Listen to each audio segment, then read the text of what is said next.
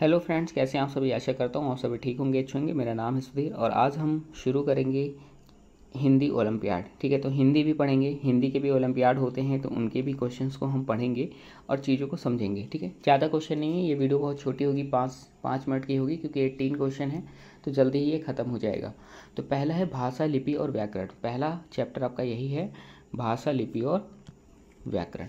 ठीक है तो चलिए इसको पढ़ना शुरू करते हैं। तो देखिए ये क्लास फाइव के लिए है, ठीक है? तो आप भी देख सकते हैं इसे, अगर आप हिंदी पढ़ रहे हैं तो आप देख सकते हैं इसे। पहला है क्वेश्चन एक से, प्रश्न संख्या एक से अट्ठारह तक दिए गए प्रश्नों के विकल्पों में सही विकल्प का चयन कीजिए। तो चलिए, वीडियो को शुरू करते हैं। खंड का, ये सब क्या है? एक अंक के प्रश्न है, यानी कि एक नंबर का क्वेश्चन है, ये सब। पहला है, अपने विचारों या भाव को एक दूसरे तक पहुँचाने का माध्यम कहलाता है। तो देखिए, अपने बातों को आप दूसरे के पास किस चीज़ से पहुंचाते हैं तो आप लैंग्वेज के माध्यम से पहुंचाते हैं, भाषा के माध्यम से पहुंचाते हैं, क्योंकि जब आप कोई लैंग्वेज जानेंगे तभी तो उसे बता पाएँगे, ठीक है? तो भाषा के माध्यम से अपनी बातों को पहुंचाते हैं। अगला है, भाषा में ध्वनियों को लिखने के लिए जिन संकेतों चिन्हों का प्रयोग किया जाता है वह है तो भाषा में जो ध्वनि होती है, उनको जिन चिन्ह और जो संकेत और जो चिन्ह के लिए प्रयोग किया जाता है, उसे हम क्या कहते हैं? उसे हम कहते हैं लिपि।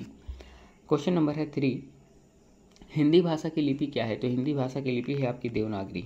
क्या है? देवनागरी। अब गुरुमुखी जो लिपि है, ये किस भाषा की है? तो पंजाबी भाषा की और रोमन जो है, आपकी किसकी है? इंग्लिश की। ठीक है? अगला है, उर्दू की क्या है? फारसी। अगला है क्वेश्चन नंबर फोर। भारत देश की मान्यता प्राप्त भाषाओं में सम्मिलित भाषा है। तो देखिए, भारत में जो अंग्रेज़ी को हमारे देश में मान्यता भाषाओं में नहीं दिया गया, फ्रेंच को भी नहीं दिया गया, किसे दिया गया है? नेपाली भाषा को दिया गया है। ठीक है? क्वेश्चन नंबर फाइव, मुख से निकलने वाली प्रत्येक स्वतंत्र आवाज़ कहलाती है। तो देखिए जो हमारा मुख है, यानी कि जो हमारा मुँह है, मुँह से जो भी आवाज़ निकलती है स्वतंत्र अवस्था में, उसे हम क्या बोलते हैं? ध्वनि बोलते हैं। क्या बोलते हैं? ध्वनि बोलते हैं। अगला है क्वेश्चन नंबर सिक्स, जिसके द्वारा हम शुद्ध लिखना व बोलना सीखते हैं, उसे कहते हैं। जब हम किसी चीज़ को शुद्ध तरीके से लिखना और बोलना सीखते हैं तो उसे हम कहते हैं व्याकरण। तो देखिए, व्याकरण वह शास्त्र है, जिससे मनुष्य भाषा को बोलने का, लिखने का, पढ़ने का और समझने का शुद्ध ज्ञान प्राप्त करता है, उसे हम क्या कहते हैं? व्याकरण कहते हैं। Seven number. क्रिकेट के खेल में एम्पायर की किस भाषा का प्रयोग करता है। तो देखिए, क्रिकेट में जो एम्पायर होता है, वो सांकेतिक भाषा का प्रयोग करता है। वो आपको इशारों के माध्यम से बताता है कि सिक्स न गए, आउट हो गया, ठीक है? तो वो अपने बॉडी मूवमेंट से, यानी कि वो क्या करता है? संकेत देता है। क्वेश्चन है एट नंबर।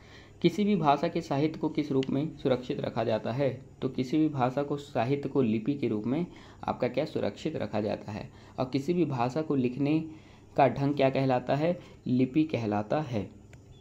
अगला। Question number nine. वाक से वाक से छोटी छोटी मूल ध्वनि कहलाती है। तो छोटी छोटी मूल ध्वनि क्या कहलाती है? तो छोटी छोटी जो मूल ध्वनि होती है, उन्हें हम क्या कहते हैं? वर्ण कहते हैं। क्या कहते हैं? वर्ण कहते हैं, ठीक है? अब देखिए, भारतीय जो संविधान है, ठीक है, उसकी आठवीं अनुसूची में आपकी बाईस भाषाओं की मान्यता दी गई है, ठीक है? वर्णों का सार्थक समूह कहलाता है तो वर्णों का सार्थक समूह क्या कहलाएगा? शब्द कहलाएगा, ठीक है?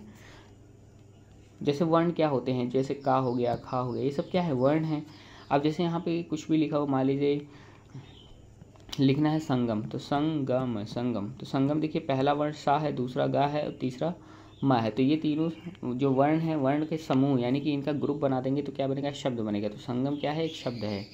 Question number eleven. भाषा को नियमित और व्यवस्थित रखना सिखाता है। तो भाषा को नियमित और सुरक्षित, व्यवस्थित रखना क्या कहलाता है? तो ये कहलाता है व्याकरण। ठीक है? अगला है क्वेश्चन नंबर ट्वेल्व। चौदह सितंबर 1949 को हमारे देश में संविधान में भारत को राष्ट्रभाषा में स्वीकार किया गया। तो देखिए, किस भाषा को स्वीकार किया गया? हिंदी को। अब यहाँ पे क्या है? मैंने बताया ना कि भारतीय संविधान की जो आठवीं अनुसूची है, उसमें बाईस भाषाओं को मान्यता प्रदान की गई है और चौदह सितंबर को हम क्या मनाते हैं? भा, हिंदी दिवस। क्या बनाते हैं? हिंदी दिवस। अब पूरी दुनिया में कब हिंदी दिवस मनाते हैं? दस जनवरी को। अगला क्वेश्चन है। अब देखिए, जो क्वेश्चन नंबर थर्टीन से एटीन तक है, ये टू मार्क्स के क्वेश्चन है। तो पहला है, हमारी प्राचीन भाषा अंग्रेज़ी है तो ये गलत है। हमारी दुनिया की सबसे प्राचीन भाषा कौन सी है? तो वो है आपकी संस्कृत। कौन सी भाषा है? संस्कृत भाषा है। पूरी दुनिया की सबसे पुरानी भाषा संस्कृत भाषा है।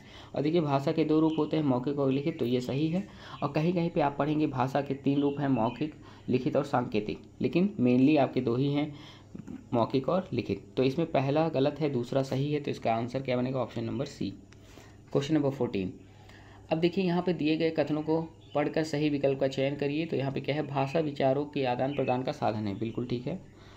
दूसरा है, भाषा को लिखने की निश्चित चिन्हों को लिपि कहते हैं, ये भी ठीक है। तो इसमें सही कौन सा है? ऑप्शन नंबर बी यहाँ पे सही है। कथन पहला और दूसरा क्या है? दोनों सही हैं।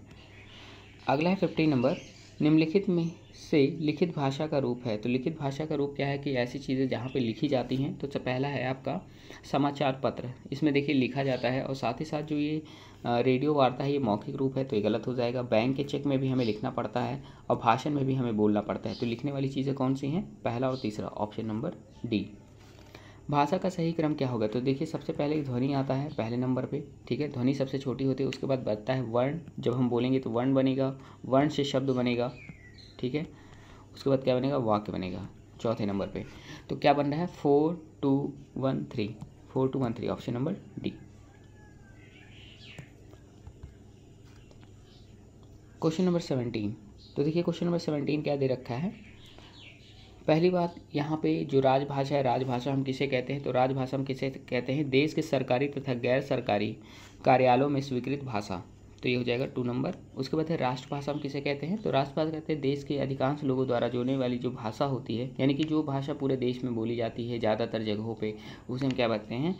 राष्ट्रभाषा कहते हैं। तो ये थ्री नंबर पे हो जाएगा। मातृभाषा किसे कहते हैं? तो ये हो जाएगा बहुत ही छोटे क्षेत्र में बोली जाने वाली भाषा को मातृभाषा कहते हैं तो जगह फ़ोन नंबर अब बोली किसे कहते हैं? जो हम अपने माँ बाप से चीज़ों को बोल के सुनते हैं, सुनकर सीखते हैं, जो भाषा उसे क्या कहते हैं? बोली कहते हैं तो जगह फोर का वन नंबर डी का वन नंबर तो कौन सा बन रहा है? Two three four one two three four one आपका कहाँ पे है? ऑप्शन नंबर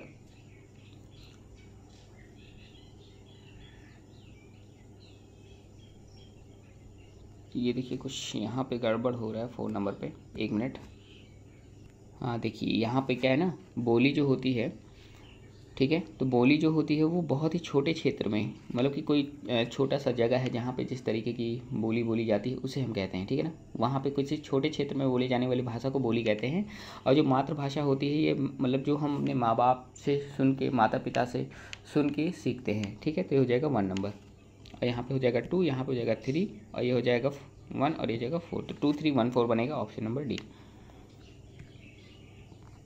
अगला है क्वेश्चन नंबर एटीन। यहाँ पे देखिए लिपि को हमें मैच करना है तो अंग्रेज़ी की जो लिपि है, वो कौन सी है?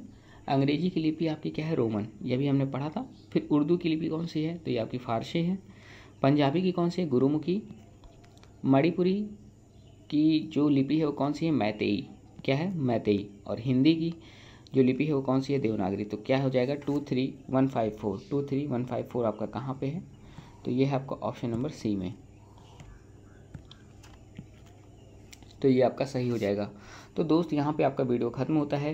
हिंदी ओलंपियाड का ये पहला वीडियो था। वीडियो आपको कैसा लगा? वीडियो देख के मज़ा आया कि नहीं आया? ठीक है कमेंट में लिख के बताइएगा। और साथ ही साथ अगर आप कुछ पे करना चाहते हैं मुझे तो आ, मेरा क्यूआर कोड है। आप उसे स्कैन करके पे कर सकते हैं। मैं आपको उसे दिखा दे रहा हूँ। ये है दोस्तों मेरा क्यूआर कोड। और आप इसे अपने फ़ोन से स्कैन कर सकते हैं और आप इस पर पैसे सेंड कर सकते हैं। कोई ज़बरदस्ती की बात नहीं है। अगर आपका मन करता है तो ही आप सेंड करिए।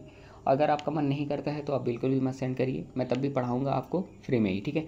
चलिए तो वीडियो पे जितनी भी वीडियो पढ़ेंगी यूट्यूब पे सारी फ्री रहेंगी, ठीक है? चलिए तो मिलते हैं अपने अगले वीडियो में, तब तक के लिए नमस्कार।